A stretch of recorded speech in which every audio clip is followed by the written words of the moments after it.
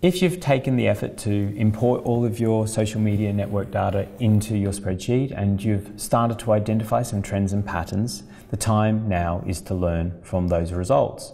One of the important things to remember is that you don't, as a brand, necessarily have to be on every single social media network all the time. It may well be to your disadvantage, but you can only know this once you've received enough data from the different networks and once you've spent enough time analysing what's coming in. It could, for example, be that certain periods of the year you're actually wasting your money being present on a social media network where there isn't the right type of activity for your buyer persona.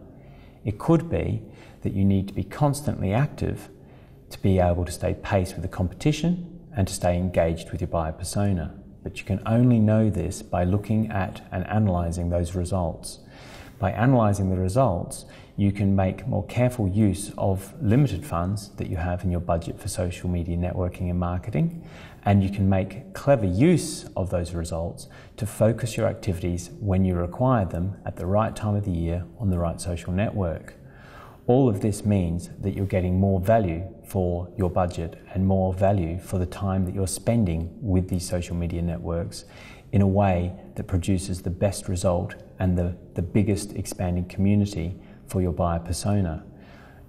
The more you do this, the more effective you are, and the more careful you can be with your placement, and perhaps even more focused to the extent that you can recognize with a great deal of accuracy where, when, and how you need to be in which social media network. To control and analyze activities of market, uh, we get very uh, analytical reports, very, uh, very important information which we can analyze and we can um, track the uh, effectiveness of marketing campaigns.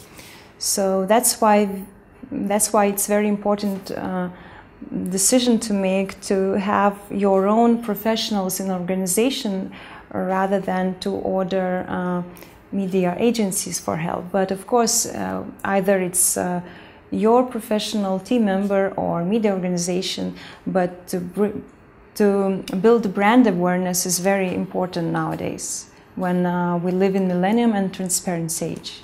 So the data that's on the spreadsheets and the data that's produced um, needs to be um, taken and used in order to make good decisions um, for your business. They produce results, you know, they produce you know, the ability to be able to analyze and they allow us to optimize our, our, our actual activity. You know, we use um, uh, data you know, from downloading SEO reports so that we can see how much um, time and investment put into developing content um, is needed in order to produce the different you know, areas of traffic. We can look at the, the data that's produced across our website and the peaks and the troughs. And we know that you know a strong period for our, our business um, is Monday and Tuesday from the different traffic that's uh, produced in, through um, in the data on Google Analytics. And our quietest day is, uh, is, is, is, is the weekend. So you know the decision there is should we continue to invest in Monday and Tuesday and make that peak even higher, or should, fa- should we in fact be releasing and doing more digital marketing activities at the weekend so that we actually prop up the low amount of traffic that's going through at the weekend? But traffic isn't everything, and obviously you need to make sure that, that is converting into sales and into, for us, um, candidates coming into the business. So we just need to make that call whether you know the, the, we are using the right area and producing the right results from our investment. Uh, you have uh, some quality data there.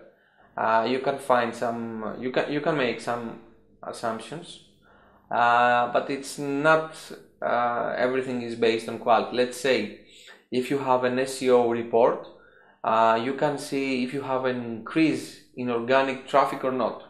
So if you see a decrease in organic traffic coming from SEO, the client will uh, have an assumption something is not going uh, very well with our campaign. But actually, the truth is the queries for the specific product are not high during summer season. So you have to um, be ready for a situation like this. So first of all, examining examining the data, okay, based on uh, quality uh, metrics, and after that we need a human, um, you know, factor to identify what is going on.